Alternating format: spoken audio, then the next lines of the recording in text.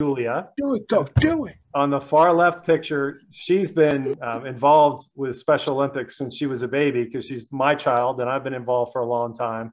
Um, in the middle, she's uh, with her uh, unified partner for cycling, uh, Stephen. And so they partnered and got gold a few years ago at Fall Games.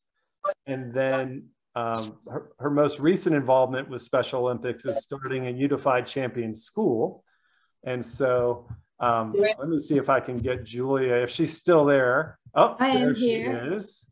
And so I know um, Julia had a question for you, Loretta. Sure. All right, so I am starting a Unified Champions Club at my school, and I was wondering um, to you, like, how important is it promoting inclusion and unified sports in our schools?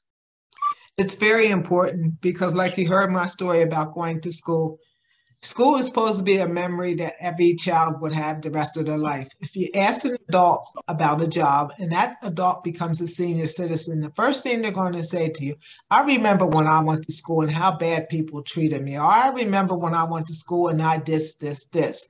I was on the honor society. So school is a very important role in a young person's life. It actually helps shape that person for that next level to become an adult. So if you're that child who's getting teased all the time, you're not going to feel comfortable being that adult to go out and work in the community or even think that you are wanted. So as you become that senior and you think, you know what? I wish things would have been better when I was a kid in school. And now when I look at the unified programs, there's less bullying, there's less, uh, even not even for the person with the ID, but regular ed students who are very bright or who have issues with um, not being open or being able to express themselves. When they come into i heard a story about a young person who came into a unified program and this made a difference in his life.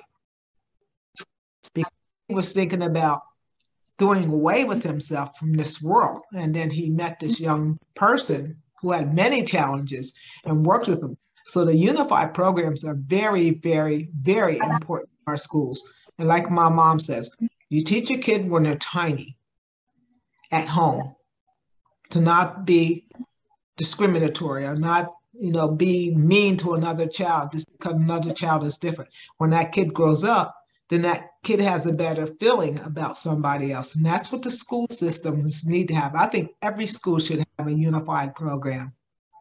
We use sports as a catalyst, as the message to get the regular ed kids to come in. But even if you have a club, if you take a bunch of students and send them together, some with intellectual disability and some without, you'll find every one of them has something in common. They might like the same music. They might like the same clothes. They might like to do the same things. They want to go to the prom. They want to do all these things.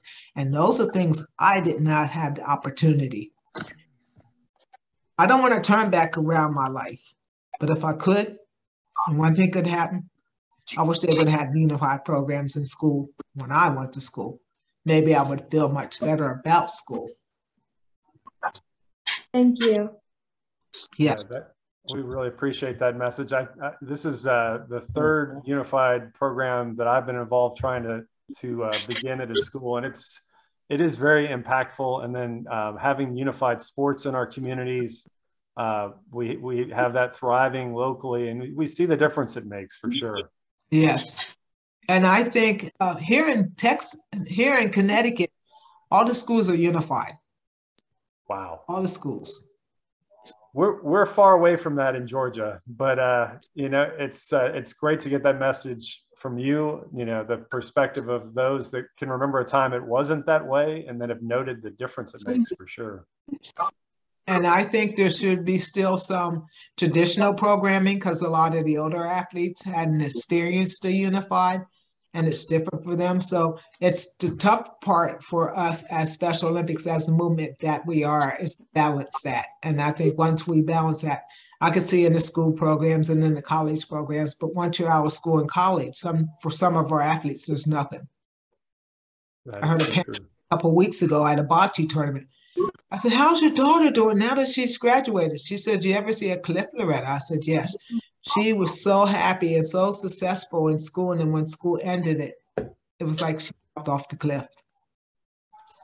Yeah,